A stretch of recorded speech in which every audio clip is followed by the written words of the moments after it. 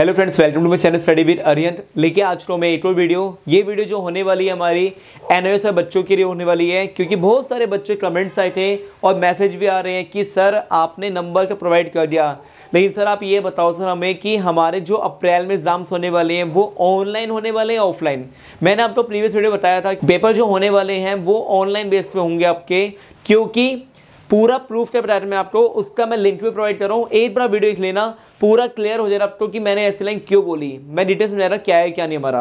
अब paper online होने वाले हैं, उससे बिहार पर करना क्या पड़ेगा देखो, आप सबको पता है कि एनओएस का प्रोसेस जो है, थोड़ा धीरे धीरे अप्लाई होता है।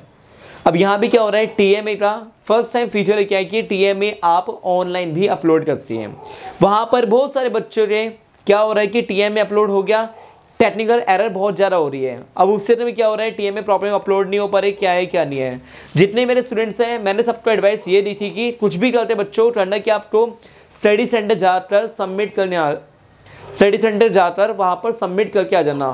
इससे बेनिफिट क्या होता है? वहाँ पर प्रॉपर एम रिज़ल्ट मिल जाएगी आपको और श्योरिटी लेवल हो जाएगा अच्छे जैसे कि फिजिकली कोई चीज़ हम सबमिट कर रहे हैं तो ज़्यादा अच्छा है एज कंपेयर ऑनलाइन लेकिन अगर आप बहुत दूर बैठे हो तो आपको ऑनलाइन सबमिट करना है बेस्ट ऑप्शन है।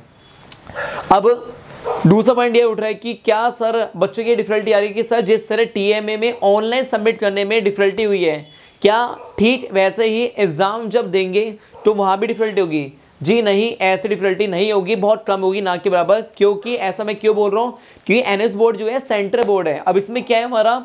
इसमें ये जो एनएस बोर्ड है, पूरे एचआरडी मिनिस्टर जी सर जो है, पूरी तरह से कंट्रोल करते हैं। सीबीएसई बोर्ड एनएस बोर्ड हो गया हमारा।